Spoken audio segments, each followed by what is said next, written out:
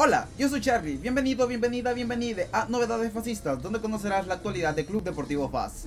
Y el actual campeón de fútbol salvadoreño Club Deportivo FAS ha dado a conocer que su jugador Wilma Torres ha renovado con FAS por dos torneos cortos. Y Club Deportivo FAS ya conoce el rival que estará enfrentando en la fase preliminar de esta Scotiabank CONCACAF League.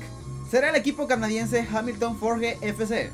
Estos partidos serán a serie de ida y vuelta. El primer partido se estará jugando en Canadá, aún queda la fecha por confirmar, pero será entre el 3 y el 5 de agosto. El partido de vuelta se estará jugando en la cancha del Cuscatlán entre el 17 y el 19 de agosto. Y el ganador de esta serie de la ronda preliminar clasificará a los octavos de final de esta Scotiabank CONCACAF League, donde ya está esperando rival el equipo nicaragüense Real Esteli. Y tenemos la plena confianza que el Club Deportivo FAS estará disputando los octavos de final. Esto es todo lo que tenemos en este episodio de Novedades Fascistas. Si te gustó te pido que te suscribas al canal, le des me gusta, lo compartas y lo comentes. Y recuerda siempre, ¡Pum Pum FAS!